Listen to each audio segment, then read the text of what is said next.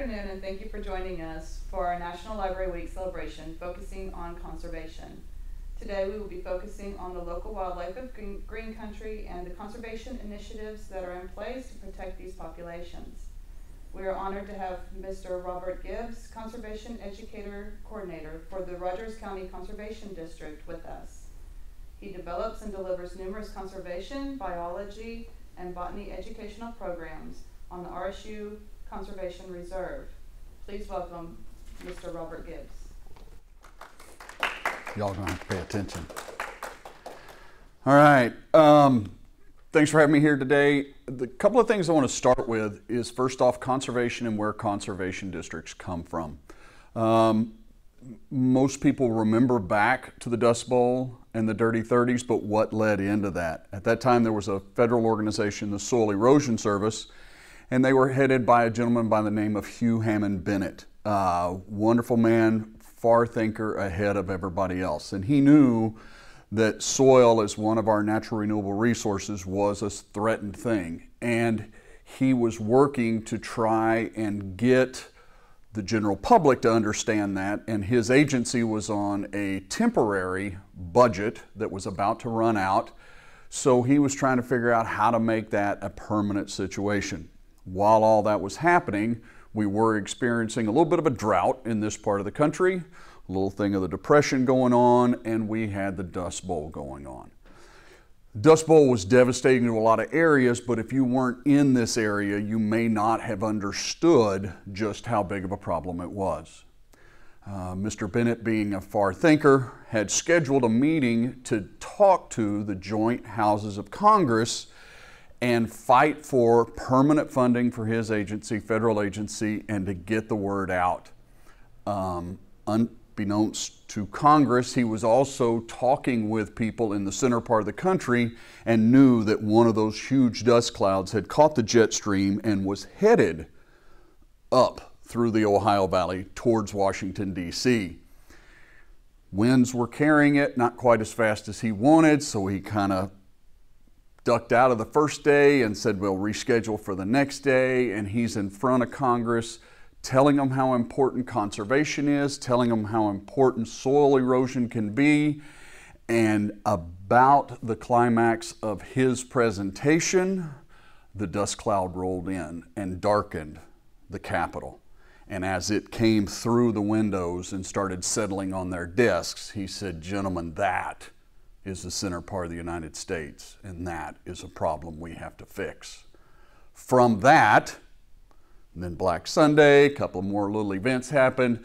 Congress passed permanent funding, and um, the Soil Conservation Service was started as a permanent federal agency, later turned into the Natural Resource Conservation Service, which is our federal partner we work with as well. Those gentlemen also noticed that with such a problem, they could not fix all the problems. We had to do it ourselves because the farmers and ranchers and, and people that lived out here were the ones responsible for what was going on. And instead of the government telling them what they had to do, local forms of government were started, conservation districts.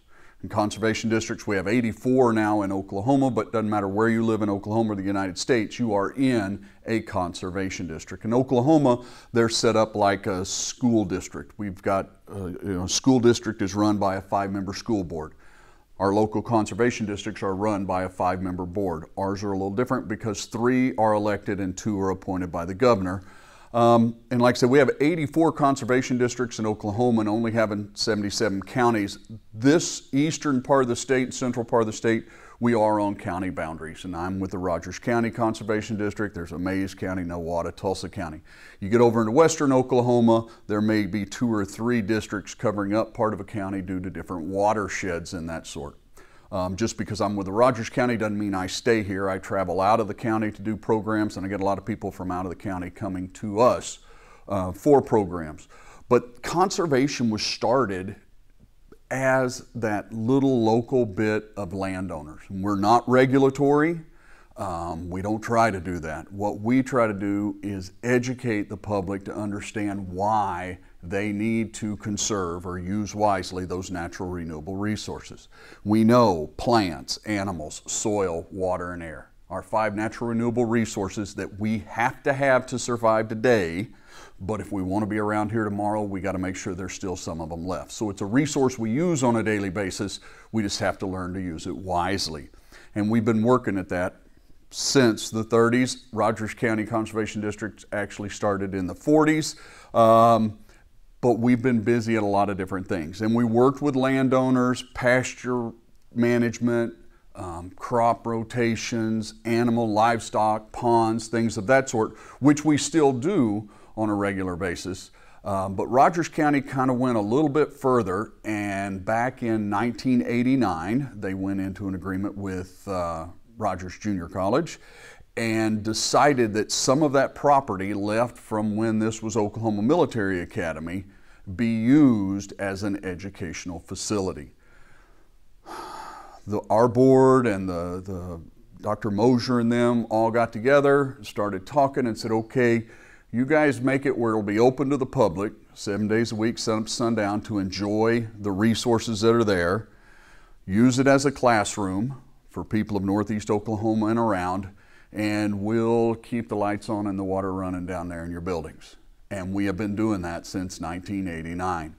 Um, I came aboard in 2001. Uh, at that time, they were doing a lot of education programs, but one of the things they wanted to do was take it a little step further and make it more curriculum based for a lot of the school districts so that their field trips were important um, and do a little more outreach to the civic groups. So we started doing programs, uh, and now I'm probably running six to 8,000 teachers and students a year through my programs at the reserve. And then we have unknown thousands that come through the gates every day to walk the trails, walk their dogs, push the baby strollers, um, take photographs and things of that sort, which is something we enjoy people being able to do. But by putting that on the ground and showing people, that's what I try to do. Um, before you're going to want to conserve something, before you're going to want to take care of something, you got to understand a reason for it. And with today's technology, we can learn all we want to learn about Australia or Africa. But too many times we're forgetting what's in our own backyard. We don't go out there to see what's there. We don't know our natural resources that we have. So I try to use that 100 acres as a living classroom to show people what we have and how it's important and why we want to try to save it. We get a lot of students coming down there. We have some research going on down there from the students here, um, and the public seems to enjoy it quite well. We just try to push it a little bit more with a little understanding of different things. Try to show them something different about an organism or a plant. Why do we need this? Why do we not want something else? One of the things we deal with are invasive species, whether it be plant or animal down on the reserve, one of the things we deal with are plants, and we've got a couple of different ones. Uh, the eastern red cedar is something that's a big problem in this part of the state, native to the western part of the state, but over in this part it does become an invasive species. For years, we'd have different ways of combating that problem and dealing with it. Um, and our agency works with federal agencies to show landowners how to do it. What we try to do at the reserve is show that it is a problem, what that problem can be sometimes, so we leave some to show that it can be a, a, an impact on native wildlife because of the overshading and the taking up of the water for a lot of our native plants. But then you also have to show that it does do some good because anything you look at has both positive and negative impacts. While it does serve as shelter for a lot of wildlife, it does serve as a food supply for a lot of wildlife, it does take away some of those native plants that we had in our prairie ecosystem when it starts to become a forested ecosystem. So we work with that, try to show landowners, okay, if you've got cedars encroaching, here's how we can take care of them. And we work with our federal partners to try and do that. Um, another one we have isn't so much that it was spread by the birds with wildlife, but it was one of those ones that was brought in by people as an ornamental for their backyard, and that's Asian privet and Asian honeysuckle. Both of those brought in as a nice ornamental um, and in their proper position, they do great, but anything left unchecked can cause a problem. Um, they're one of those ones that produce a lot of seeds within, within those berries. The birds love to eat them and they spread them everywhere. And now we've got to come around with a way to combat that invasive species before it takes over. So those are some things that we try to do in just a passive way for the general walkers and, and people out there. We also um, keep a butterfly garden going. Uh, pollinators and butterfly gardens, something most every homeowner wants to deal with. They want to have a butterfly garden or pollinators in their garden. So we try to show through passive gardens part of that so that we can show them some of the plants that you can put out there, some of the ways you can make some natural native pollinator gardens as well as some that are um, more ornamental plants brought in for pollinator gardens. We also, with the luxury of being 100 acres of Oklahoma flora and fauna, we can show those plants to become the food supply for the rabbits, for the deer, and the woodchucks, and which ones you've got to do to try and keep them from eating all of them, because that's another thing uh, that we work with is, is dealing with Oklahoma wildlife and how that is. Many times we try to work with other agencies, not only our federal partners NRCS, uh, we work with the U.S. Fish and Wildlife Service for a lot of their stuff for habitat re-enhancement and for habitat uh, mitigation when, when a corporation's fined for causing a problem. Uh, the U.S. Fish and Wildlife Service tries to get some people to help reestablish an area uh, to compensate for that. So we've worked with them. We're going to be putting in some more pollinator gardens this year um, to help with that and to work with the monarchs and the monarch watch that everybody goes through. Everybody picks some, you know, there's certain little animals or buzzwords or something that will get everybody going. Um, everybody likes mammals, little warm, fuzzy guys, especially if they're black and white, that, except for the skunks. Um, but that's something most people love and they'll get behind. Uh, it's kind of hard to get somebody behind a bee um, if it's not a honeybee that's giving them um, honey. Um, so you got to find something. So the monarch has become a big powerhouse for the pollinator and pollinator gardens. It's a butterfly that people recognize and they can all go, okay, that's something I want to see flying around, so we need to learn to take care of it.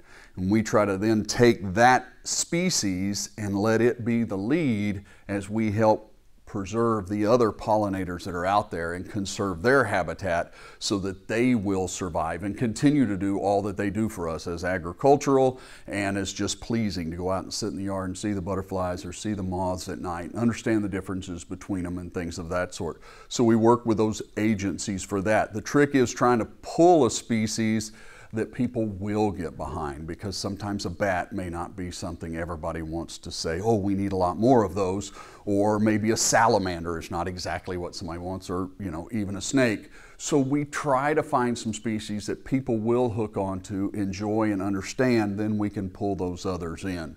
And unfortunately, in today's time, many of our youth um, aren't used to growing up in an outdoor rural type of area. We are becoming more and more uh, urbanized, and Tulsa is just continuing to grow, and Broken Arrow and Jenks.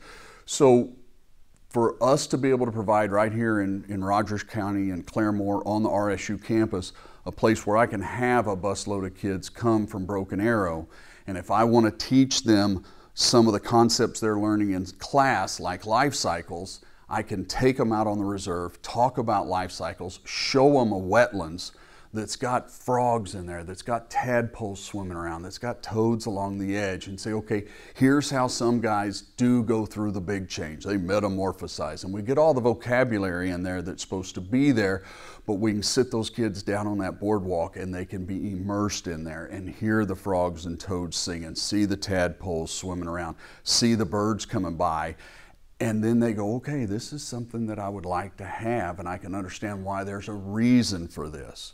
So we can get them hooked in by showing them something like that.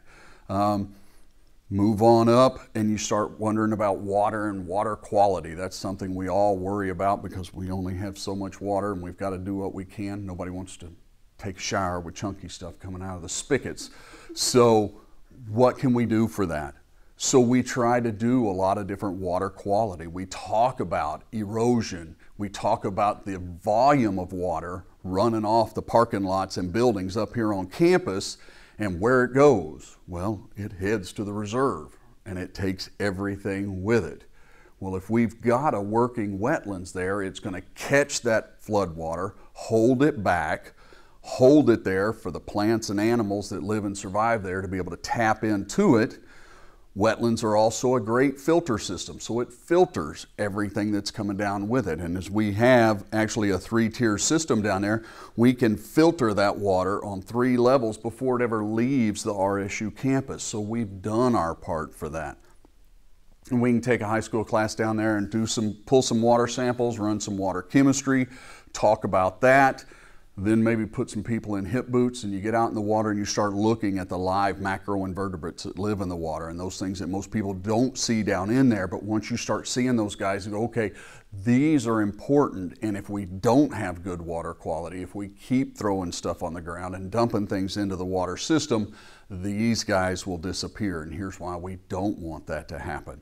And not everybody may be used to getting up close and personal with a dragonfly larva, um, but you'd much rather see one of those than a mosquito larva in the water. One of those dragonfly larvae are eating the mosquito larva, so there are beneficial predator out there. So we talk about that and let the students get up close and personal with some of that life in the water that they did not know was there. A lot of people see a big body of water and they think, okay, I can go bass fishing there. Well, that's great, but before you can get the bass, you have to have something for the bass to eat. You have to have something for that animal to eat. You have to have something for that animal to have eaten, and all that ties back into the water quality so we can pull a lot of that together and show how everything out there is interconnected, how everything out there fits together, and why each part of that is important.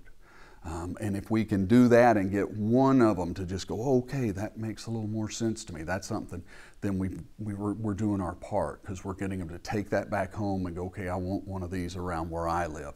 I want a little body of water in the backyard with the flowers around it and dragonflies buzzing around in the afternoon. Those are things that if we can start that spark, then we're achieving it. And that's where we try to go. That's where the Rogers County Conservation District tries to go with that reserve down there. And through those organized classes, we are able to reach a lot of people, and not just from right here in Claremore or Rogers County. Um, I had a group come down from Barnsdall the other day. I mentioned Broken Arrow and Jenks and uh, Bixby all come up. I've got groups from Oklahoma City that will drive up here for the programs and the things that we can offer right here in Claremore that they can't get in other places. Uh, that shows that we're doing something right and we're getting out there and getting the point out to people and people understand that. And if you've got a good program, they're going to come to it. So we're, we're very fortunate with that. And through all of those education programs, that allows us to spiderweb out because I will get a group come in and a parent or grandparent will come as a volunteer and go, well, I lived in Claremore all my life. I didn't know that was back there. I thought that was just woods back behind there before you got to the golf course.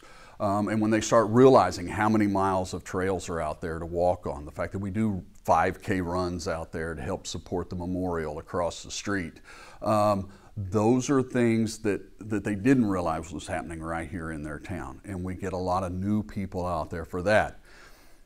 Anytime you start creating something like that, there's always that little double edged sword with it because everybody loves the nice, quiet little area to go walk through. And many times you get on the trails and forget you're in the middle of Claremore till you hear a train whistle. Um, but then when you start talking to people and say, okay, we want to help get more people out here, they're like, no, no, don't tell anybody because we want to keep this just for ourselves and we don't want more people out here walking. Well, fortunately, it's big enough we're not going to get that overrun with people. Um, but we love the fact that the, the locals around here that are out here on a regular basis, our regulars, they take ownership in it and they'll let us know if something's going on. Um, we're still working on some of the new ones that come through because occasionally you'll get new people come through and I know they're coming down there because it's a nice place to go and nature's there and it's beautiful. I just can't figure out why they leave their drink cups and their lunch sacks behind with them after they leave. So we're, we're still working on that part of it. Um, and the regulars sometimes don't like that when somebody's messing up their area, but they let us know when things like that are happening um, so we can get in there and take care of that and keep it a place uh, that Claremore can be proud of, Northeast Oklahoma can be proud of uh, with all that we do and to continue that conservation message, to, to let people know yes, we have natural resources out there. Yes, we can conserve and use those resources wisely, and no, we don't have to regulate and fine and all of that stuff. Um, conservation districts discovered years ago you give somebody the tools and let them understand why something's important, they will work to preserve that. If they don't understand why it's important, they're not going to. And if you come out and say, if you don't do this, this is going to happen to you, well, that's a problem. But if you say, you know, hey, if you continue down the road, you could have these problems, or you make these little conservation changes, and this is what you'll benefit from. Whether it be stopping soil erosion, running too many cows on a pasture, having them all go to one pond instead of having multiple paddocks where you can rotate graze and have multiple water sources, working on native species versus non native species to get there. You know, the prairies lasted for years and years out here um, with our tall grasses and to get some of those back, get rid of some of those eastern red cedars, get rid of some of that privet and start having our big tall grass system come back. We are a little more the Cherokee Prairie, but it still had those tall grasses in there, big blue stem, little blue stem, Indian grass, switchgrass, and you get all the forbs down in there, and that's what makes that ecosystem that all those organisms survive in. So not only will you have the butterflies flying in there, but you may have a big old hispid cotton rat come through there, and you may have a big old rat snake go through there, and you may have a hawk come by there.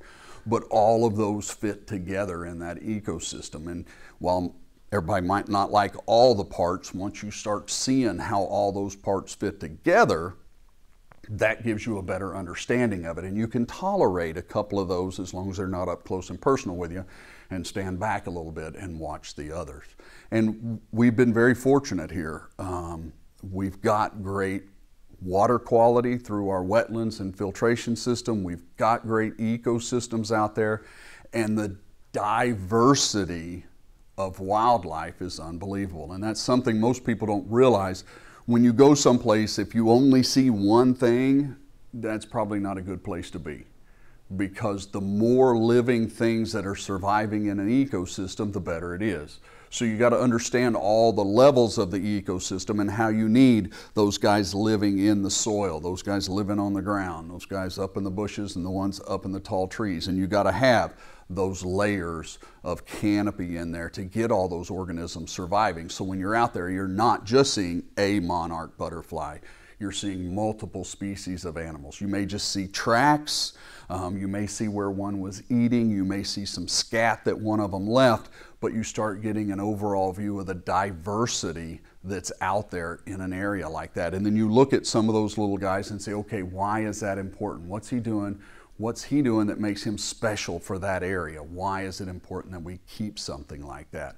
And those are things we try to get through, whether it's through the direct classes or just the general public coming through with signage that they can see and interpret what's out there for them, um, trying to drive in that, that basic thing of we've got our natural resources, we need to conserve them or use them wisely. All right?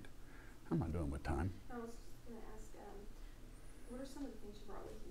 Um, I kind of brought a, a, little selection of some different skins and skulls that you may see an animal of, you may see some parts of. You, it's not uncommon to be out in the woods and find a skull somewhere and go, okay, what was that? Or to see a hide or see an animal and not completely know what it is. So most all of these guys are just from right around this area, um, and each one, whether it be a coyote or a bobcat or a possum, uh, each one has some unique characteristics. Whether you're looking at the head with the teeth, if you've got all the teeth, you can tell exactly um, what it is. Most people um, may not be too fond of a possum. Um, you never want to stick your hand in a feed sack with a possum because once you start looking at the teeth of a possum, you begin to realize they've got 50 teeth. Okay, they mean business. And each of those teeth tell us what they eat and how they eat it and how they survive. So you can compare uh, possum's teeth to a bobcat. Bobcat, pure carnivore. He doesn't have those teeth. He doesn't need to be munching on seeds or munching on something like that because this bobcat's a pure carnivore. So you can look at that and see what's going on with that versus something, um, oops, like our groundhog or woodchuck we get a lot of these guys running around out here. This time of year, you'll start seeing mom with her babies behind them. Um, they've got a big bushy tail. A lot of people will call them a bushy tailed beaver. Um, the woodchuck or groundhog, great little guy, runs around out there, sits up on its back haunches like a little prairie dog, but he's a pure herbivore, so he doesn't have some of those teeth. So you can see his teeth, see what he's doing. He's got nice white incisors, so he's eating on soft plant material. He's not chewing on something like a porcupine or a beaver. So you can learn some from that science always trying to figure out what's there and see what's there so we can evaluate one of those ecosystems. And you may see a skull every once in a while, you may see some scat every once in a while from these animals, but the other thing is, how do I tell what else is there? Well, there's some great science ways of doing that. Um, one of the things is we let wildlife do the work for us and we just kind of come through and clean because predators will consume the prey that's around them. Owls and birds of prey are great at that they're going to find a lot of those little mammals and different animals out there that we don't typically see. And as they consume them, owls are very efficient with what they do. Swallow those things whole, bones, fur, teeth, toenails, feathers go over here. The rest of that stuff's digested, and then about once a day, they'll cough it up as a big old pellet. And then we can take those pellets apart, dig in there, find the bones of what they've been eating, identify them because we know each one of those little mammals has a different tooth pattern, and then from that we can build a diversity study of what's out there. Kids love to do this. Um, scientists do this on a regular basis. It's their way of doing an inventory, and then you can take that to the next level and articulate it and put it back together if you've got patience to put a jigsaw puzzle back together when you may not have all the pieces. Um, but by doing things like that, we're able to see a little more of what's out there, see it on a different level, and it gets the students up and involved. And owl pellets is one I like to do with them because it does get them up close and personal with things to be able to explore and see what's out there in an area that they may not have seen um, just cruising around. Also, we try to get the students involved uh, in other ways. There's a lot of citizen science going around now where you're actively involved in the conservation, whether it's in your backyard or around. I mentioned putting in pollinator gardens or butterfly gardens. Um, birding is a big thing. We work with the wildlife department. We've got nest boxes that we check on a regular basis down on the reserve to take part of their nest box survey. Um, we help the public get some nest boxes out there and get them involved with doing that. The wildlife department's also big on backyard bird feeder surveys and the winter bird count. For the backyard bird survey, that's just the general person looking out their back window and seeing what birds are coming to the feeders at that particular time. And then they can take that information, send it to the wildlife department and say, okay, here's what I saw. And that lets the wildlife department get a better view of what's going on because they can't have somebody all over the state all the time. But that information can go back to their biologist and they can take what those citizen scientists have done and put it together and have an impact that way. So um, by doing things like that, uh, there's always some uh, bio blitz going on for those that really want to get out and do that. And maybe birds isn't what you like, but maybe you're a plant person, maybe you're a tree person, maybe you're a salamander person. Um, and you can go out and work with scientists and take inventories of different areas. But we work very hard to get the public involved and get them going and let them see that yes, they can make an impact just by putting a feeder up in their backyard, just by putting a little flower garden in. They're going to start taking care of those pollinators, get some of those native plants out there. Right now, the, the red bud is blooming beautiful. It's our state tree that everybody recognizes right now. They won't recognize it in a few weeks once it loses its blooms, but uh, that red bud's a great indicator of how everything fits together, and it's feeding our early pollinators right now and giving them that food source. And then it's going to provide foods for our seed eating birds in the winter, but it all ties together with our spring rains.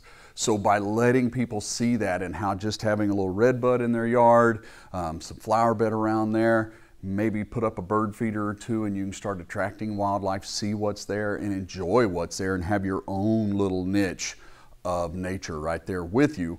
But it starts with trying to understand what's out there now, figuring out what we can learn from it, learn something special and unique about them and go, okay, that's why I want to keep that. That's why I want to save that. Maybe that's why I want this particular type of wildflower blooming because it is a beautiful native flower, whether it's our state wildflower um, or some of the more common ones like the coneflower and things of that sort. So. What's in the case? The case is actually, I took bones from owl pellets and put them in the case for a display so you can see some more of what you might find in there. And then I also had uh, some beetles clean up some of the skeletons so there could be, so that's kind of a little small, intricate skeletons in there. How'd that work again? How did you do that again? I've got some beetles that feed on flesh, um, not live flesh, dead flesh, and they help clean up uh, the material on there. Um, everybody hears the American burying beetle, which is an endangered species. That's not what I have.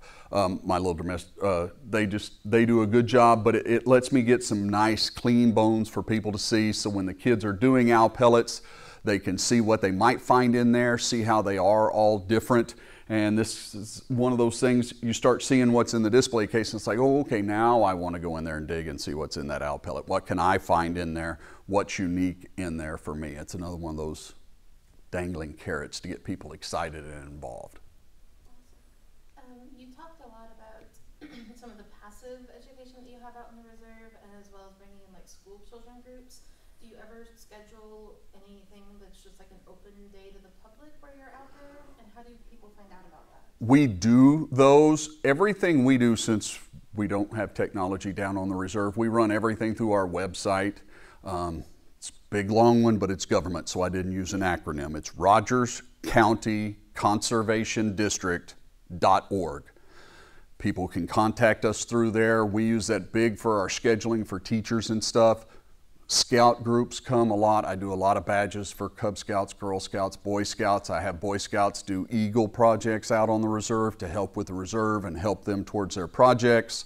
Um, civic groups, I'll talk to those. Occasionally, we will do a program out there on butterfly gardens or native birds or winter birds, and that's always publicized on our website. And then if people have a question about one and they would like something, they can email us through that website or just see us out there and let us know, and we'll start looking to schedule with some of that. Um, kind of want to open it up to any questions anybody else has. Um, if anybody online wants to ask a question, this is a good time. Um, you can just type in, we can answer, or we can ask him the questions for you. Do you guys have any questions? Um, what are some other ways that, um, that people can get involved in conservation? Uh, maybe helping out, um, the, uh, the district in particular? We do use volunteers, and we get several students um, on campus that have to have community service volunteers down there. Um, the Girl Scouts have put in a couple of little flower areas of bulbs and stuff for us when they were working on some of their conservation volunteer practice hours. Uh, if somebody wanted to do was real involved with water and water chemistry, uh, our state agency operates a program called Blue Thumb, which is a volunteer monitoring program where they monitor a body of water test the chemistry of it and look for invertebrates and those cool little guys living under the rocks on a regular basis to let us know water quality. Um, so anything like that, but we do need people down there every once in a while. Like any state agency, we've been cut back quite severely at times. Um, I still have a place to go and work, so I'm still pretty happy. But at one time, we had five full-time employees, three full-time people on that reserve, and now I've got two full-time employees, myself and one other, to not just handle the reserve and the education, but also to handle our office and do landowner and uh, pasture management and implement some of our state cost share programs where we help the public put in a pond or cross fencing and pasture management and things like that. So our resources kind of got pulled tight, so anytime we can have a volunteer come out there that would like to help. Um, most of our volunteer stuff we actually run through our federal uh, partners NRCS, and they have an Earth Team volunteer program. And in fact, I have a young lady that's going to school here now that was an Earth Team volunteer back in her home county when she was a high school student, came here and she could just pick right up with her Earth Team hours because she wanted to uh, continue what she had been doing at her local conservation district now and here in Rogers County since she's come. So um, anytime we can get some things like that, that's, that's always wonderful.